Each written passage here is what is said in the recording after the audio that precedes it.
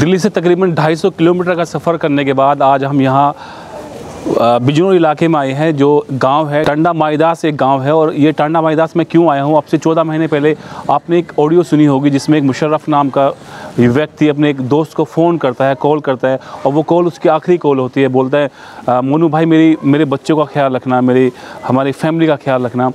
आपने सुना भी होगा क्योंकि एक दिल्ली में एक हादसा हुआ था और हादसे में करीबन तैंतालीस लोगों की मौत हुई थी, जिसमें से एक मुशर्रफ था। मुशर्रफ सुर्खियों में क्यों आया? क्योंकि मुशर्रफ ने आखिरी कॉल अपने दोस्त को की थी, मोनू को की थी, क्योंकि मोनू पर ही उसका विश्वास था कि मोनू मेरा बचपन का दोस्त है, मेरी फैमिली का ख्याल रखेगा और उस लास्ट कॉल के बाद सिर्फ़ मुशर्रफ की लाश ही इस गाँव में आई है। जस्ट मेरे पीछे उनकी माँ खड़ी आप देख सकते हैं। उस, उन, उस फैमिली से हम मिलेंगे और हमसे जो मदद होगी हम करेंगे। दिल्ली गवर्नमेंट ने भी मदद के लिए कहा था, लेकिन अब तक तो कोई मदद नहीं आई। लेकिन आप लोग मदद कीजिए इस फैमिली की। अब हम चलते हैं अंदर और हमसे जो मदद होगी, हम आपको दिखाएँगे इनका हाल और जो मदद होगी हम करेंगे। बहुत बहुत शुक्रिया।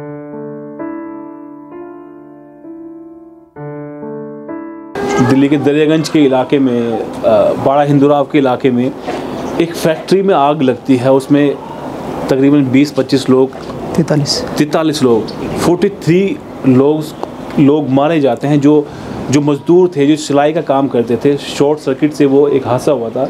लेकिन इसमें सबसे झिझोड़ देने वाली बात जो वायरल हुई थी वो एक ऑडियो थी। वो वो शायद ऑडियो आपने सुनी भी होगी। एक एक मुशर्रफ एक लड़का था जो वहाँ काम करता था। उसने एक एक अपने दोस्त को जो कि मोनू अग्रवाल के नाम से हैं उनको फ़ोन किया था कि मोनू भाई मैं जा रहा हूँ उस दुनिया से। मोनू भाई मेरा ख्याल रखना मेरे बच्चों का ख्याल रखना। आप समझ सकते हैं कि उसने किसी मुसलमान भाई पे विश्वास नहीं जताया। उसने उस उस बंदे पे विश्वास जताया जो उसके साथ हमेशा से हमेशा से उसके साथ में रहा है। वही मोनू अग्रवाल हमारे साथ में मोनू भाई जी। बहुत अफसोस है मुझे कि चौदह महीने हो गए हैं। चौदह महीने के बाद भी अब तक कोई कोई सरकार का नुमाइंदा या कोई ऐसी कोई आपको बोला गया था कि, कि कोई कंपनसेशन मिलेगा। नहीं मिला और हालात इतने बदतर हो गए कि कमाने वाला सिर्फ़ मुशर्रफ था उसके बाद में उसके वालिद साहब थे भी इंतकाल हो गया मुशर्रफ का भी इंतकाल हो गया बस आप तमाम लोग सपोर्ट कर रहे हैं। जी। तो मतलब कैसे थोड़ी सी बताइए आप? जी हाँ बस अकेला परिवार में वो अकेले ही कमाने वाला था जो मुशरफ के अबू थे अब्बा थे वो मुशरफ से एक साल पहले एक्सपायर हो गए थे। उसका बेटा है ये नौ साल का। जी जी। और तीन बेटियाँ हैं उसकी उससे बेटे से सब छोटी हैं। घर में कोई करने वाला नहीं है। सब छोटे छोटे बच्चे हैं माता अम्मी है माता है वो खाट बुन लेती हैं। जो भाभी है हमारी मुशरफ की वाइफ वो थोड़ा सिलाई सिलाई कर लेती है तो उससे थोड़ा परिवार का और गाँव के हिसाब से ये तो है नहीं कि ज़्यादा इनकम हो। तो आप देख ही रहे हैं कंडीशन जैसी भी है ये आपके जो जो मुशर्रफ छोड़ के गया था सिर्फ़ वही जी वही कंडीशन है। जी जी।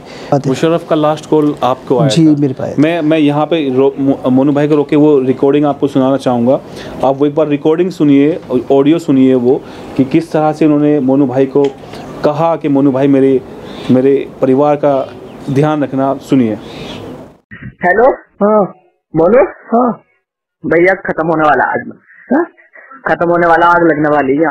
हाँ। देखो भैया आ जाइए करोल बाग तो मोनू से नंबर ले लियो वो जो मोनुआ का गुलजार। हाँ। हाँ। इस टाइम कब रखा है? भागना कहीं रास्ता नहीं आग लग गई भाई। दिल्ली? हाँ। उधर निकलना वहाँ से। नहीं है मोनू कहीं को रास्ता भागने का भैया हाँ।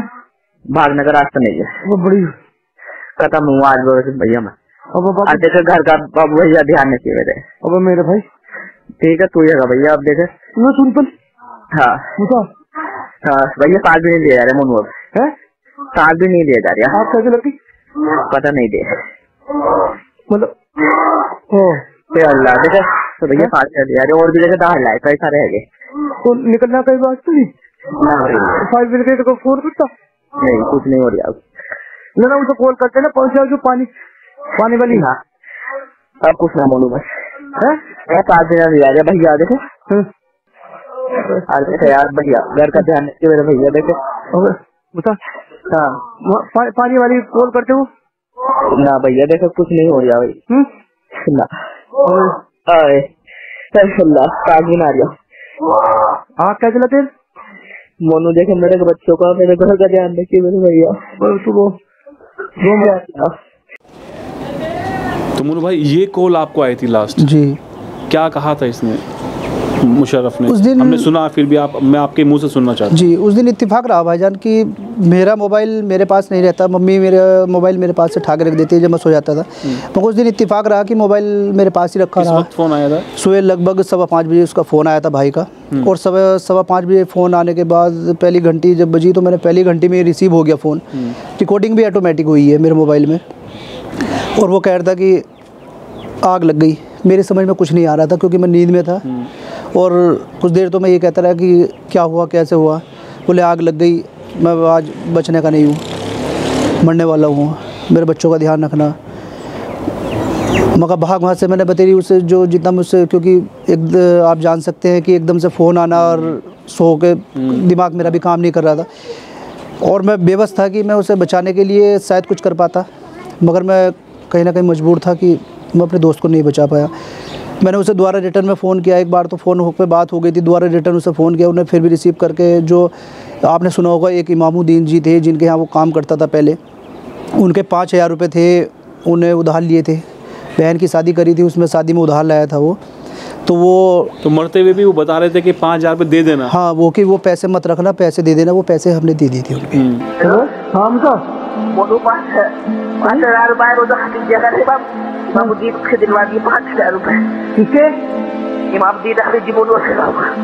अच्छा दिलवा दूँगा दे दूँगा टेंशन मत ले। दे दूँगा दे दूँगा। पैसे बता दिए भैया। ना ना रखना का ना तू घबरा रहा तू सही हो जाए कुछ ना होने का। कुछ ना होने का घबरा मत तू।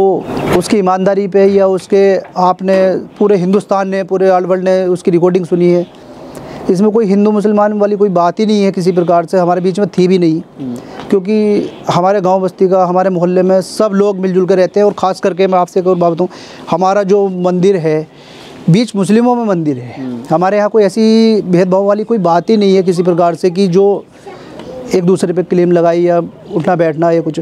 दोस्ती थी उसकी बचपन से मेरी मेरी उसकी पक्की। दिल्ली से आता था मुझे पता होता था कब आ रहा है कब जा रहा है। क्या बीत सकती है एक माँ पे? आप देख सकते हैं। कितने सालों के बेटे में सफलता उसके ज़िक्र के।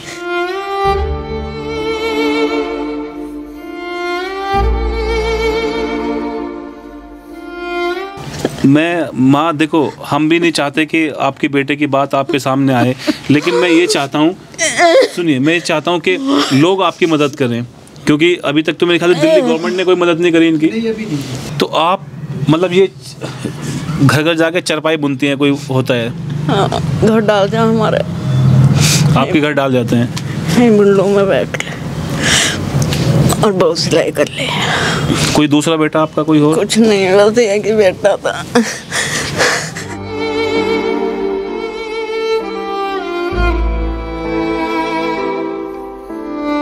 चार बेटे उससे पहले छोटे छोटे चले गए थे। बर्दाश्त नहीं होती।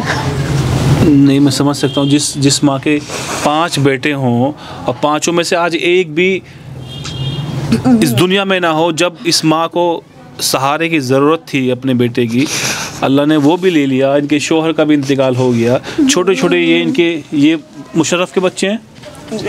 ये मुशर्रफ के बच्चे हैं छोटे छोटे मुशर्रफ के तीन लड़की हैं एक लड़का है। लड़का। आओ बेटा। छोटे छोटे ये चार बच्चे ये तीन बेटियाँ हैं। ये एक बेटा है बड़ा बेटा। क्या नाम बेटा आपका? शेफ। सैफ। ये छोटे छोटे तीन बच्चे हैं और सबसे बड़ा सबसे बड़ा घर में जो मर्द है इस वक्त यही है। सैफ है जिसकी उम्र आठ से दस साल होगी। आठ। साल है और घर में कोई कोई मर्द नहीं है माँ कोई मर्द नहीं नहीं। कोई नहीं बच्चा भी नहीं और बस यही है बहन घर का खर्चा कैसे चल रहा है? वैसे ऐसी सिलाई कर लेंगे इससे चल जा हम चरपाई बुन लें थोड़ी बहुत। जी जी। तो बच्चे मांगते होंगे आपसे डिमांड भी करते होंगे कि कुछ कुछ चाहिए कुछ ऐसा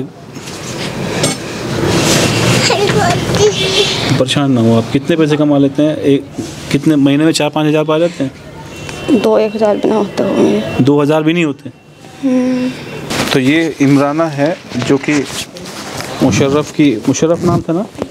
मुशर्रफ की वाइफ है और के अंदर से इनका दिल कितना रो रहा है। छोटे छोटे तीन चार बच्चे हैं तीन बेटियाँ हैं इनकी भी ज़िम्मेदारी है। एक बेटा है उसकी भी ज़िम्मेदारी है। इन बच्चों ने तो होश भी नहीं संभाला होगा ये बच्चे तो ढंग से पहचानते भी नहीं होंगे। बहन परेशान ना हो इंशाल्लाह।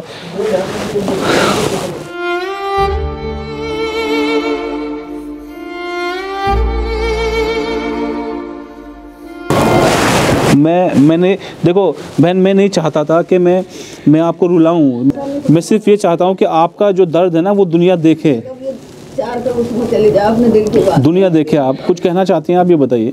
तो कुछ कह के गए थे आपसे मुशर्रफ के मैं आऊँगा बच्चों के लिए कुछ लाऊँगा इस तरह से कुछ बात हुई थी। जी। क्या बोल के गए थे?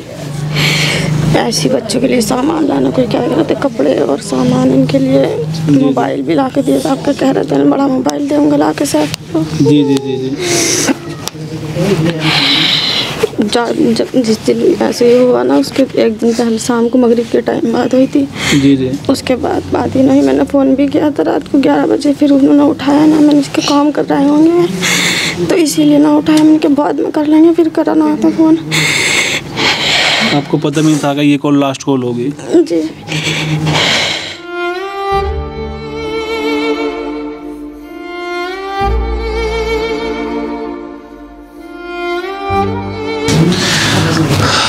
जब सरकार साथ नहीं देती ना तो हमारा फ़र्ज़ बनता है कि हम हम आके ऐसे लोगों की मदद करें ऐसे लोगों का एक ऐसे लोगों की बढ़ चढ़ के हिस्सा लें मदद में हिस्सा लें।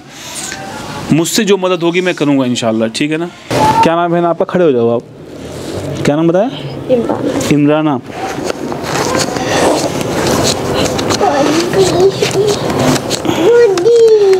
इमराना बहन? मैं भाई समझ लो, तुम्हारे ये पाँच हज़ार रुपये हैं, रख लो। ठीक है बहन? रख लो। ये पाँच हज़ार रुपये मेरी तरफ़ से हैं। बहुत बहुत शुक्रिया। अगर आपको हमारी वीडियो अच्छी लगती है तो मेरी वीडियो को लाइक कीजिए, शेयर कीजिए, कमेंट्स कीजिए, और बस ऐसे ही लोगों की खिदमत करते रहिए और ज़्यादा ज़्यादा शेयर कीजिए वीडियो को, जिससे ज़्यादा ज़्यादा इस फैमिली की मदद हो सके। थैंक यू वेरी मच बहुत बहुत शुक्रिया।